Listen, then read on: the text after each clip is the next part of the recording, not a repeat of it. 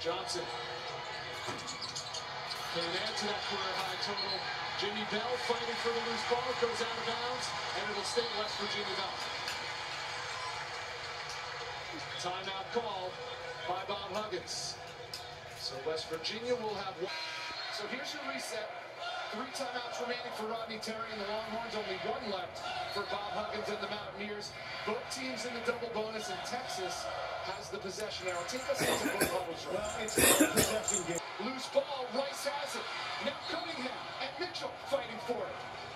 And the possession arrow will be with the Longhorns. This one's it's too it's too easy, and you see Bishop The officials are looking at it the scorer's table now.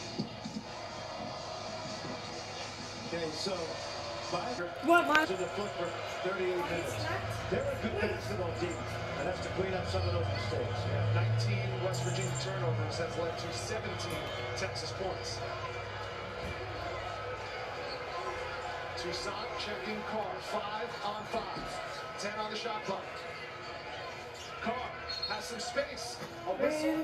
Was that before the shot? The foul's going to be on the floor, says James Brady. Policeman, it's the state trooper that gives you a ticket for going 57 and 55. That's a good no call on the flagrant one. Just shoot the two free throws. Marcus Carr's season high is 28. He has 19 right now. Season high in conference. Is it Rich? Big 12 play.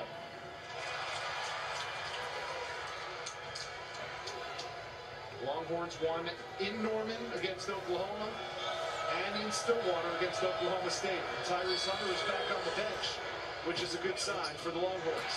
Rice one for two. Still a puncher's chance for the Mountaineers. 120 to go. Johnson, quick release on the three. Carr comes away with it.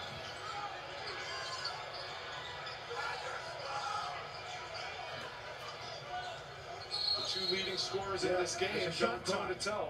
We got a shot clock issue. Marcus Carr, smart enough. I looked up at the clock in the backcourt and it said 18.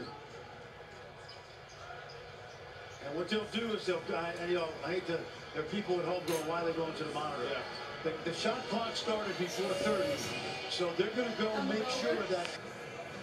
Right now, Texas is 14 for 19 from the free throw. Without a doubt. And they get a new 10 now, also.